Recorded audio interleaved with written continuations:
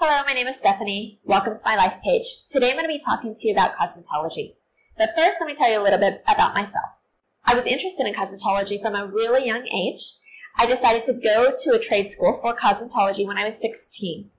After completing 1600 hours and getting my professional license, I began uh, my professional career as a cosmetologist at the age of 18, and I've been working professionally for 18 years now. I've worked for um, many different corporations in the hair industry, but currently I'm self-employed and running my own salon as a cosmetologist. Cosmetology covers hair, all things skin, hair, and nails. Um, it's a broad education in those areas. Um, different than a barbering education. Barbering focuses just on uh, the study of hair. Um, with a cosmetology license, you can do all things. You can color hair, you can cut hair, you can perm hair and use chemicals. Um, facials, any skincare, uh, a cosmetologist is licensed to do, and any nail care, a cosmetologist is licensed to do. So it gives you a broad education in these areas, and you're able to specialize in any of those areas or continue that broad um, focus for all of your clients' needs. Um, you're also going to want to know color theory. Oftentimes, a client's going to come and want a change in color of their hair. So you're going to want to know um, the color wheel.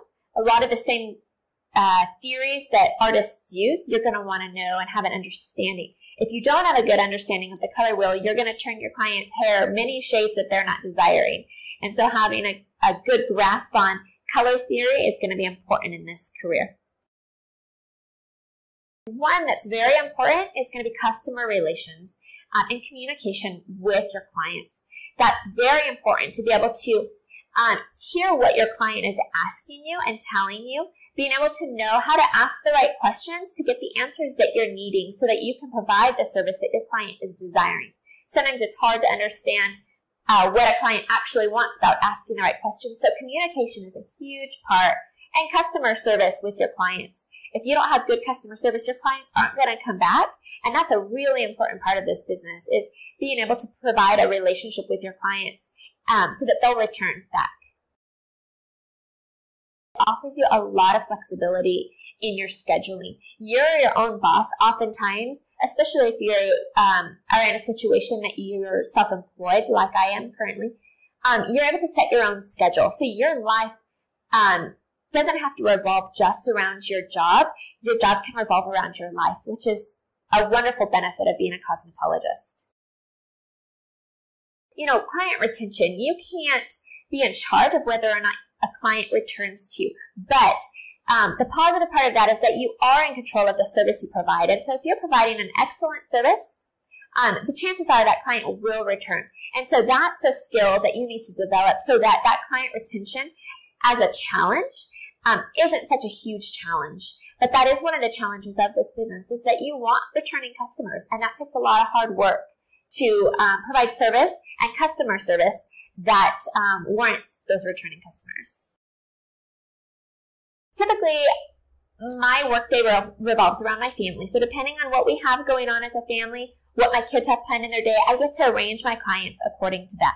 And so um, if my day maybe starts at 9 o'clock in the morning, I would have a client scheduled for 9 o'clock. I would come in a little bit early, prepare everything that I need to for my client who's coming, whether that's, um, you know, maybe she's getting a, a highlight that day. So she would come in and I would talk with her and consult with her and what her desires are for that day. I would prep my color and we would get started on applying her color. Once I apply her color, she's ready to be processed. So as she's processing, um, I've already planned into my day knowing that she was getting a color for another client to come in at that time. So now my next client might come in at that time and I might do a haircut on her. So while my first client's processing, I'm going to be washing and cutting my next client. Constantly being aware of my time management and the time that it, that it needs, um, you know, takes from one client to process and for me to cut and finish the next. So my day is going to look a lot like that, just going through and fitting in clients where I have downtime for processing and then making sure that I'm finished on time to get my first client rinsed. So I'll cycle through that doing um, waxing, facial waxing, doing colors, doing root touch-ups, covering people's gray, um, and doing haircuts, doing children's cuts, men's cuts, women's cuts. So I hope I've given you a balanced view on cosmetology. Thank you for listening.